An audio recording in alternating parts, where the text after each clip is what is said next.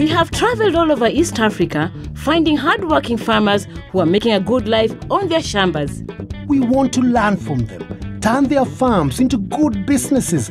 and help them increase their profits.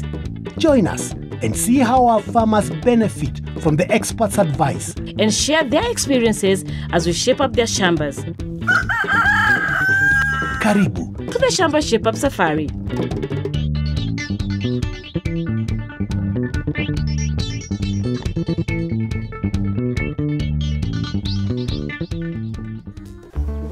To Shamba Shape Up. Today we are in Elgeyo Marakwet County.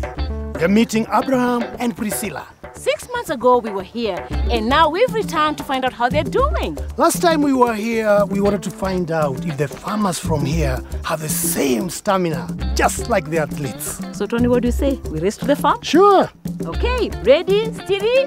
Tony, come on! I didn't say go!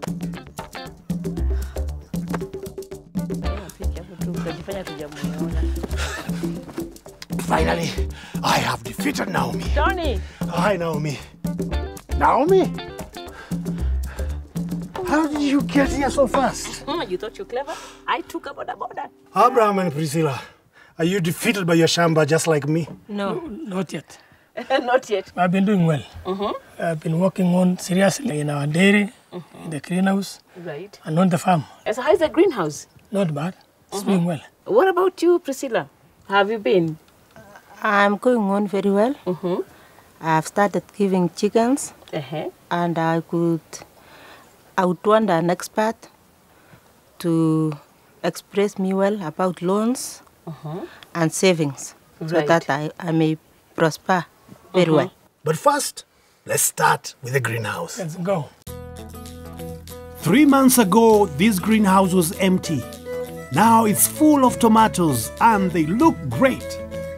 Peter from Kenya Highland Seed is back to see how Abraham is doing. So, Abraham, I can see here we've got a problem with the soil. The plants are not looking so healthy. For the future crops here, you're going to need to put a lot of manure in here and a lot of green matter. So, even your waste from your maize crop, you can start putting it and mixing it into the soil, will help it. Mm-hmm. The other thing I've noticed here when I was going around on my observation was some blossom end rot. Okay, you can see this tomato here. The base of it is is starting to rot. All right, and this is a cause of a lack of water and a lack of calcium. And what we've got to remember is when we the plant is taking water up from the soil, it starts at the bottom from the roots, and it brings the water all the way up the plant, and then down the stem, and to the end. So the end end the most end point for the water to reach and the calcium is at the end of the tomato. So if we don't give enough water and we don't give enough calcium at this stage, you will end up with a blossom end rot, such as this. So, Abraham, did you apply calcium? Uh, from my previous uh, spray application, I applied calcium and uh, fruit and flower spray. Which type did you apply? I don't know whether this is the appropriate one to use. Yes, this is very good. Easy grow. It's high in calcium, uh, which is required, as the picture shows, which is required for the fruiting stage.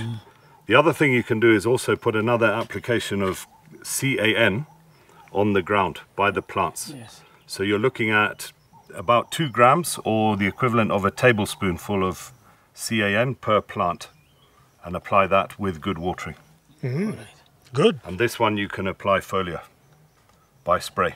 Must I follow the 14 day program or I? As you can see with the plants here, Yeah. they're growing very fast and we want the fruits to continue to develop. So it's good to apply this on the 14 day program as they recommend. To stop blossom end rot, that means the tomato plants need more calcium and water, do a foliar spray with Easy Grow Calcium. And top dress with one spoonful of CAN per plant every 14 days. So, Abraham, we've got some excellent plants here. All right. Very strong, really growing well, but you need two wires per bed. You've only got the one. And then you need to lift this up much higher, up to the height of your head. And then extend these strings to keep the plants off the ground. All right? And also you can see as the, as the wire has sagged here, Now you've got this much of the plant above the wire. And this will bring you some danger later on as it gets heavier. It will bend and it will break here. And then you'll lose that plant. From there, Abraham, we're going to do what we call layering of tomatoes. Because as the plant gets much higher, we need to actually lay it down so that it's manageable and we can reach the fruits for harvesting. So what we do is the row on your side, we, we lean it towards that way, okay? The row on my side here, we lean it that way. Side. And that way you get a good um, airflow through the plants as well. And also we can then control the stem as it's climbing and getting taller and taller. And that's the reason we need the two wires here. For greenhouse tomatoes, which grow and fruit for eight months, you need to have good support wires, one for each of the two rows on each bed. Lay the tomato plants in one row in the opposite direction to the next row on the same bed. This means that air can move along the bed, and this will stop problems like powdery mildew. Remember, always move the top of the plant to the wire.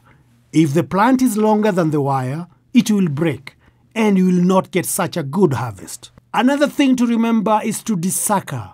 That is, to take off the new stems, leaving one main stem per plant. After these tomatoes, what can I else plant here? With good crop management here, you'll be able to harvest here for the next seven months. That's when you come with the onions. And onions is an excellent rotation. It cleans up, helps to clean up the soil. Uh, it's very good against any nematodes, and it helps to protect your soil from any build-up of wilts. Alright. And as we know in Kenya, wilt in the soil is one of the biggest problems. Mm. So, Abraham, what kind of harvest are you expecting from your crop? So I'm expecting something like seven tons from this small. You should be able to get up to seven tons from here. Wow, that's amazing. Seven tons from one greenhouse. Now that's good business. I wonder if the farmers are getting a good yield from their potatoes too. Margaret from MEA is checking out the potato field and it looks like she has spotted some problems. Well, Margaret, you've had a look around the potato patch. Yeah. So, what are your general observations? I observed some brownish patches on the leaves. You can see. Mm-hmm. This is a deficiency for magnesium. Another observation that I made, you can see premature shading of the leaves. This is due to a phosphorus deficiency. You can see the, this crop, the stem is thin. It means there's not enough phosphorus again in your soil. The brown patches are due to magnesium deficiency, but generally the necrotic uh, yellowing of the, of, the, of the leaves is due to lack of nitrogen in your soil. Brown patches on the leaves means you need to add magnesium. If the plants are also yellowing and the leaves dry early, there's not enough nitrogen. If the leaves dry early or have thin stems, this means there's not enough phosphorus. If the soil has a pH of 4.0. That is too low. And when the soil pH is low, even other nutrient elements might be available in the soil but not available for plant uptake. For example, phosphorus, it gets locked up. Acidic soil is a big problem. Plants can't take phosphorus from acidic soil. Abraham needs to apply lime to fix the acidity, and he should not use DAP, which makes the soil more acidic every season. Which fertilizer have you been using before? 1846 DAP fertilizer. 1846 zero. It's a good fertilizer. However, because it's acidic and the, the soil pH is too low, the phosphorus gets locked up. But if you use the right fertilizer at the right application rate, you are going to increase your production. In fact, potatoes, they, they, they- need a lot of potassium for mm-hmm. quali- quality and tuber formation. Use the MEA 16 8 22 plus trace elements. That is magnesium oxide and mm-hmm. sulfur for pH correction. So, Abraham, how much do you get from one acre? When you start a new shamba, the yield is around 70 to 80, to 80 bucks. But when you repeat it again, mm-hmm. the yield comes down. From 80, it comes to 50 or 60. Mm-hmm. It has a potential of 140 bucks. So How much do you get a bag? 1,600. So we want to advise you hmm. to increase your produce to hmm. over 100 bags per acre. That's 100 bags times 1600. That's around 160,000. yes, lot of money, right, for one 160,000 after three Months. months. 160,000 after three months, that's a lot more than the 96,000 he's getting now. Definitely, it is worth getting the right fertilizers then. So, we've learned about how to manage your greenhouse, especially during harvest time. Mhm, And to use the right fertilizer. But what if you want to advance your business further? So, coming up after the break, Ideas for managing your money. and lighting up your farm. Don't forget the chickens. If you'd like to receive all our Shamba Shape Up leaflets, SMS the word all together with your name and address to 30606. If you'd like to receive just the leaflet for this Shamba, SMS the name of the farmer together with your name and address to 30606.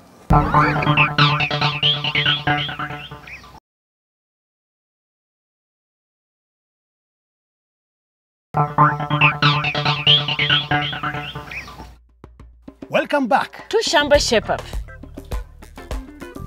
We are back with Abraham and Priscilla, checking on their progress, and there's still lots to do.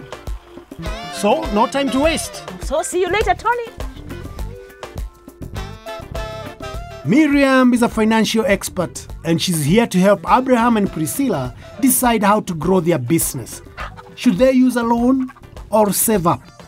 It is uh, really nice to see a farmer that is doing so well. You know that uh, you are interested in expanding the chicken business. Have you been able to access any loans? Yes, but in most cases, we use the savings my wife has in a SACCO. What common mistakes do farmers make with their savings? First of all, they lose the discipline, so they don't save regularly.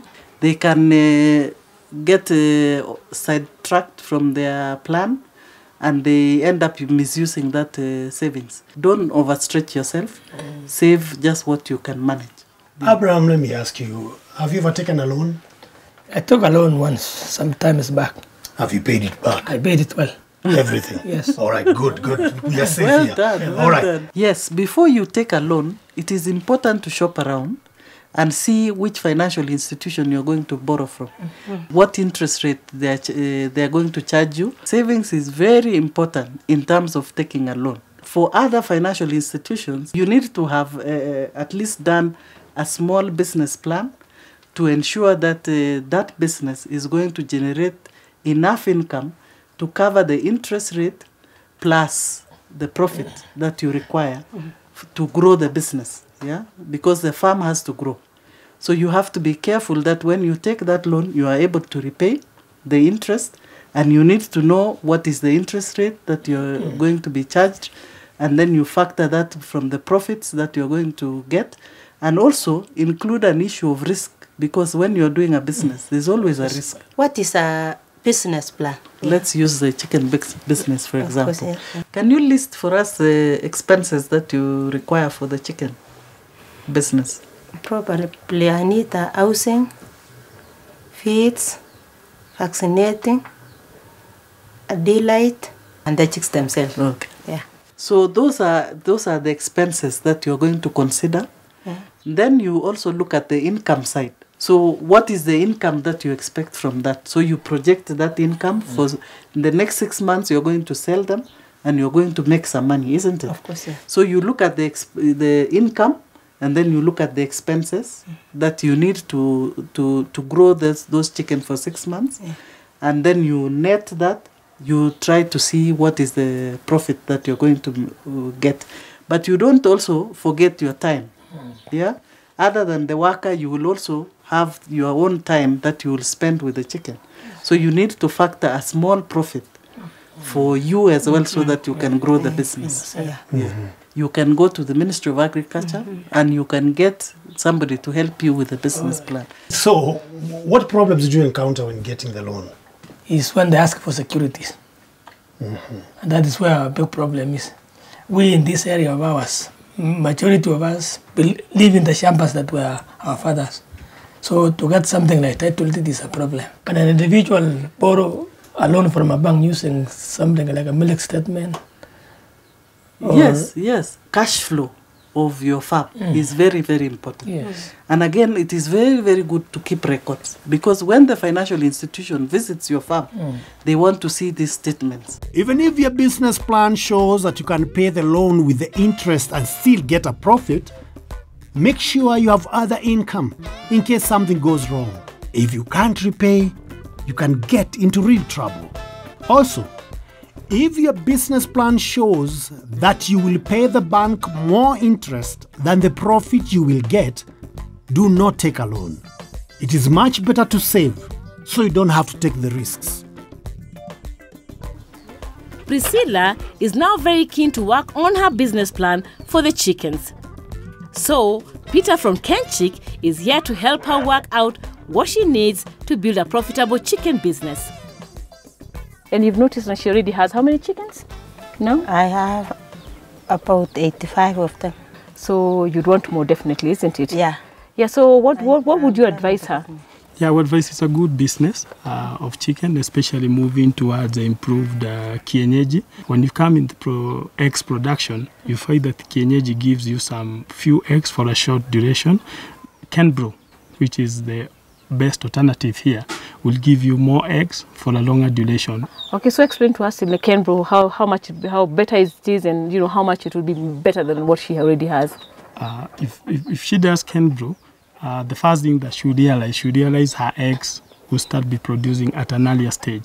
So Okay. compared to the kienyeji, by four and a half months up to six, you'll be able to start getting your eggs. Secondly, uh, when you have uh, 100 Kenbro, 80 of them will be giving you eggs. Unlike in the kienyeji setup, when you find out of 100, only 30.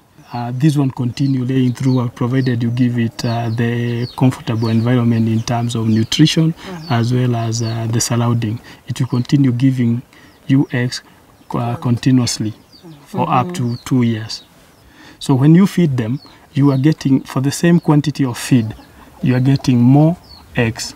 And this translates to more money. What about the meat ones? You know, like the ones the the, the, the chicken for meat. Yeah, usually when mm. we sell the Kenchik sells you the Ken Brew, they usually mix both male and female yeah. for two purposes. One, the male you'll be able to give you the meat aspect, because you'll not be laying, and then you can dispose of at a better price. And and how much do you sell one chicken? The uh, Kenyeji, the local ones? 700 to 1,000. Yeah, purely by the time they are selling the kienyeji bird, mm -hmm. after quite a long time, it's mm -hmm. usually Yeah. almost one year. Uh, it is usually one one and a half to two kilos. With Kenbro, you're able to attain this weight within a matter of six to eight weeks. So you'll be able to sell at a better price and faster, and this will translate to more money. So she can sell even like twice a year. She 'Cause can like sell say, yeah. over three times in a year. Oh, three times. Three times in a year. Wow, that's very good. And then you have the male serving the females. So you'll be able to still get the fertilized eggs. So you can be able to sell them for meat as well as now fertilize your females. So these Kenbro chickens will be good for Priscilla's business. They will be ready to slaughter earlier than Kienyeji chickens and they lay more eggs, so she gets more money faster. Both good things for saving money and for replaying a loan if she takes one to buy the chicks. Priscilla has decided that she wants to use more of her savings from her chickens to buy a solar light because they spend a lot of money on kerosene when there are power cuts. Power we receive from KPLC is not reliable. Sometimes when power is off, paraffin is f- very expensive. What do you have on offer? It's a solar home system. The good thing with our product, it comes with a panel, a solar panel. So, and it has a, the three bulbs which you can connect, so it will just be like normal electricity. And I know with electricity, you have like the TV on or the radio on. You'll also get a powered, a solar powered radio, and you'll also get a torch. You get a, p- a battery that will be able to operate all these systems. You also get a two-year warranty. So if anything goes wrong, you do not go to your local mechanic or fundi. You just give us a call. So, what are the benefits of using this system? Uh, there's a health aspect of it. So the first thing is when you're using kerosene, there's the fumes that the kerosenes produce. With a solar lantern, then you're you're assured that there's no fumes, and also they do not spoil their eyes. You can also charge your phones. Is there another way they can purchase the home system without using their savings? All you need is a very minimal deposit to get this. So you purchase this for only 2500 as down down payment and we give you a year to pay. You actually pay from your phone. It's very very easy. So what you do is you send uh, M-Pesa and what you're going to do is pay to a business number and that is 21550 and we have the account number that's here for you so it's very easy for you to know the account number once you put this in your house you will never have to forget or call to find out what your account number is. Mm. So we're just going to make a quick payment of the deposit for this. And the minute you make the, the payment you get a token. You input this token into this batch. Oh great. So we've paid the deposit of 2500 yes. Then after that now all you'll be paying is 40 shillings a day. So, once you've paid the deposit, the system works for a week. After that, you need to top up 40 shillings a day, which you can pay daily, weekly, or monthly, depending on how much you can send. For a week, you need 280 shillings. For a month, 1,200 shillings. Or you can send 40 shillings a day. Every time you send a payment, you'll get a number to tell the indicator how much you have paid. I know we are going to save a lot. My children will read every day. Well, At the same That's- time, yes. I don't think we'll expense any more power blackouts. Mm-hmm. so I think the best thing to do now is to install it. But before we do that, let's check out if this radio works. okay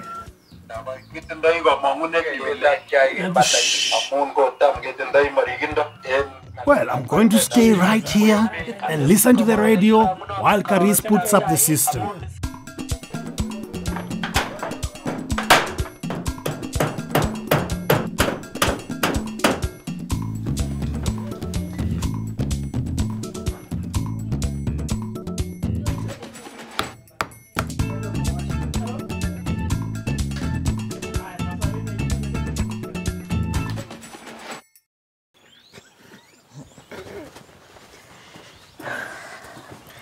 Wow, wow. Abraham and Priscilla. Well, it's been a long day. I've learned a lot. Mm-hmm. Since you brought the experts for Kenchik and Unga, Yes. I've improved there a lot. Ah, okay. You told our expert that you may have a problem with the market for your tomatoes. So what are you going to do about it? I think I'll be less worried because I I am a member of iShamba Wow. Mm, and uh, I receive messages every twice a week, mm-hmm. and they are informing informing me about the pricing in the market and which market to go to. You're both members now? Mm-hmm. Yes. Yeah. Then our work here is done. Okay, so see you in the next shamba. Are you a farmer like me? Do you want to smile all the way to the bank? It's simple. Just get all your answers from iShamba by just SMSing the word join to 21606 and they will call you any day, anytime. Shamba Shape Up is also online. Visit us at shambashapeup.com. Select the episode and click play. You can also visit Shamba Shape Up's Facebook page where you can enter great competitions and also get involved in great, great discussions. Shamba Shape Up is also on Twitter at Shamba Shape Up.